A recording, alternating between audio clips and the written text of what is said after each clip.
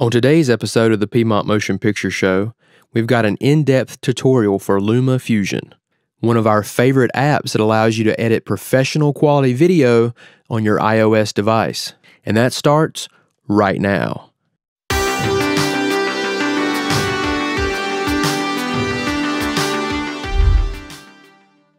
Hey guys, Ryan here with the Piedmont Motion Picture Company. Thank you so much for joining me today. This channel is all about learning and growing as a filmmaker. So if you find this video helpful, please give it a thumbs up, please share it with your friends, and if you're not already, please consider subscribing and hitting that bell notification icon so you don't miss our new content. And let's become better filmmakers together. So, you've just purchased Luma Fusion from the App Store. And hopefully this tutorial will give you everything you need to start editing video on your iOS device. The first time you boot up the app, you'll be asked to give LumaFusion access to your device's camera roll, so be sure to accept that permission. You'll also be prompted to check out the official LumaFusion tutorials page, but you're here instead, so thank you. First, let's talk about the main default timeline layout and all the different menu options. We'll do a deep dive into each one. The default layout basically has three major areas the browser or sources window, the preview window, and the timeline. In the top left of the screen, you'll see a little flower icon. This is the Sources button. Here you can find media from various sources, and LumaFusion has built in titles and transitions that you can use as well. Directly below that, you'll see the Sources window or the Browser window. This is where you access the selected sources chosen from the drop-down menus above. For example, you can have this window display photos and videos that are stored on your device's camera roll. To the right of the browser window, you'll see the Import icon. This imports files that are stored in your cloud storage folders. To the right of that, you'll see a little list icon. This is your project manager. Here you can find a list of all your LumaFusion projects that you've created. You have options here for creating a new project, exporting projects, duplicating projects, optimization and consolidation of projects, and deleting projects. There are also icons for searching your project list and a sorting option for keeping things in order. Click the circle icon beside the project to select a color tag for the project and you can click the note icon beside the project name to add notes to the project as well. Right beside the Project Manager button, you can find the name of the project. You can tap on the name to rename the project. Beside the project name, you'll see the current frame rate. Up next, you'll see the Share icon. This option allows for you to share your video in a variety of ways. You can export the movie, audio only, you can archive your project, or create a snapshot or screen grab. Note that if your project is currently empty, with no audio or video on the timeline, the share option will be grayed out. When your project has media on the timeline, the source window just below the share icon will feature images from your current project, or you can preview media here that you may be using. Right beside the share icon, we see the help and settings icon. This menu option has a lot of really important settings. Here you can find project settings, which allows you to set the frame rate, aspect, your background color, and audio ducking time, durations, and volumes. You'll see global settings or basically default project settings. You can set a default frame rate, a default aspect ratio, the number of backups you'd like to save, whether you want them to fill the frame, fit the frame, or be stretched to fit. You can set the default clip length for photos, titles, and transitions. You can adjust the style of the clips on the timeline, whether you want them to have waveforms, no icons, etc. Here you can also select for the screen to show your touches, which is great for making tutorials like this one. You can also set the preview quality settings and select the image type for snapshot images. So, there are a lot of options in this window. Below global settings, you have the help option. Here you can find additional tutorial videos, a reference guide, links to customer support, a link to review the app, and a link to upload your project to support for really detailed help.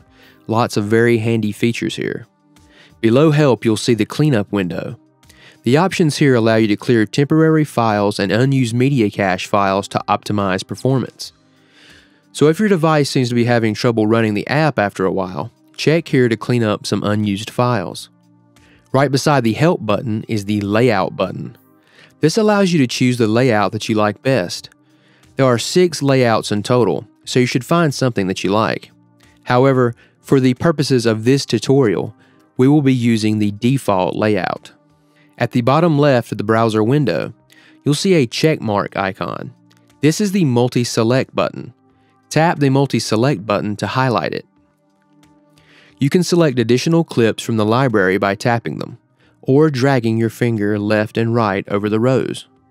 Note that dragging to select is disabled on the iPhone while in portrait mode. Each selected item will have a number showing the selection order. This is the order in which they will be added to the timeline. Just tap a clip to either remove it from the selection or to change the order.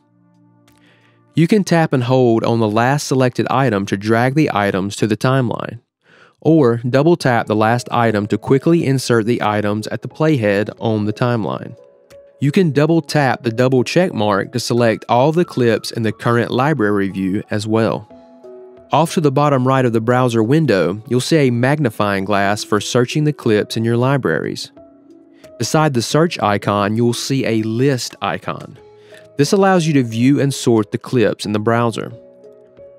You can set a view type, choose a sort field, and the direction of the sort. Right beside the list icon, and right under the preview window, you'll see the time code for the current project.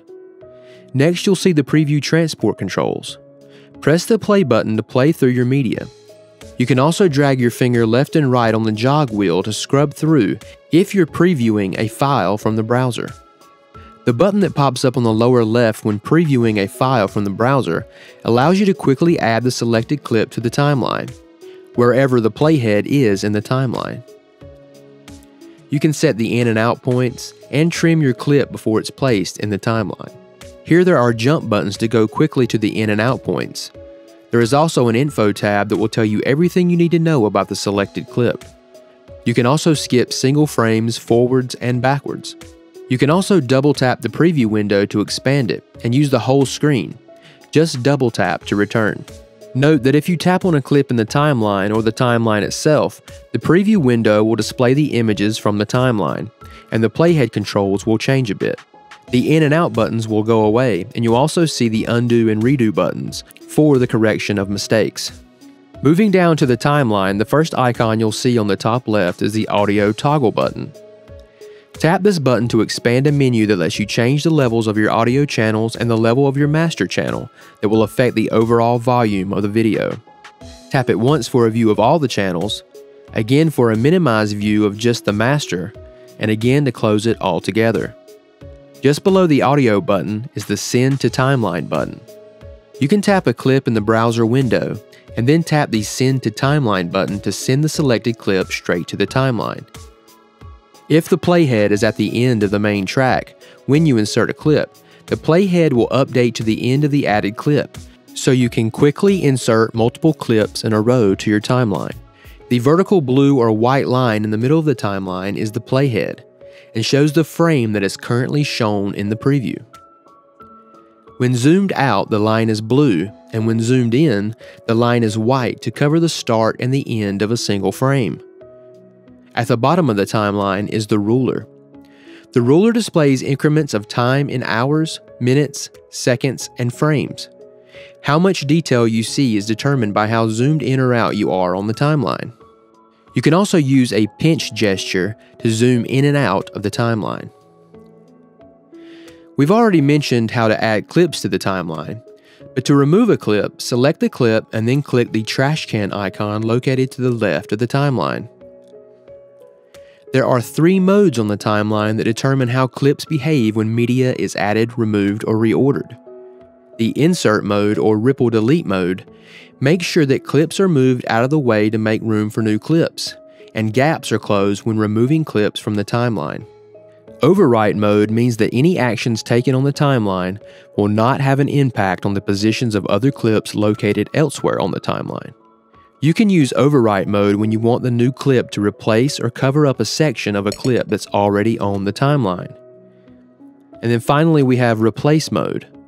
This replaces media on the main track without removing the existing clip. You'll notice that video files are at the top of the timeline in the form of blue forms, and audio files are at the bottom of the timeline, indicated by green forms. You can press and hold the jump back or jump forward buttons to begin moving single frames on the timeline. You can also long press the play button to begin looping the video. Tap it again to stop. Off to the right of the timeline, you'll first see the Clips Tool panel button. This gives you access to functions for the currently selected clip. You may have to leave the Clip Tools panel open while you edit.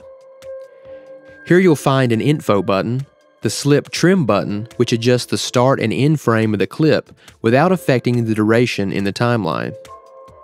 The clone tool makes a copy of the selected clip and places it on the timeline. The detach tool detaches audio from a selected video clip, placing the detached audio on an available audio track. The link or unlink tool attaches or detaches the selected clip from a clip on the main track. The Presets tool opens a collection of presets that you can apply to the selected clip. These presets will vary depending on what type of clip you are editing. Tapping Edit opens the default clip editor for the selected clip. Tapping Edit is also the same as double tapping a single clip. When you go into the Edit menu, depending on what type of clip you have selected, you'll have a host of options for configuring that clip. You'll see options for cropping and fitting, colors and effects, audio effects, speed and reverse, and in the top right you can access and create presets by using the star. The clipboard tool allows you to copy and paste attributes from clip to clip, things like color, audio, and effects. Below the tools, you'll see the plus icon. Here you can add a voiceover, transition, or title to your clip. And just below that, you'll see the cut tool. This cuts your clip wherever the playhead is positioned. Well, that's pretty much an in-depth overview of Luma Fusion. There are a ton more in-depth gestures and advanced editing techniques that we may go over in a future video.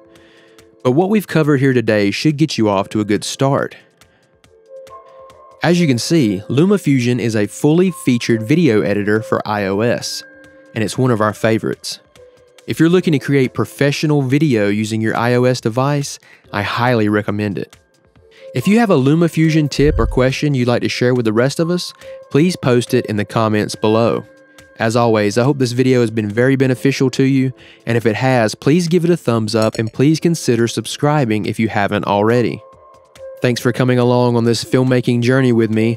I am Ryan, and I will see you on the next Piedmont Motion Picture Show.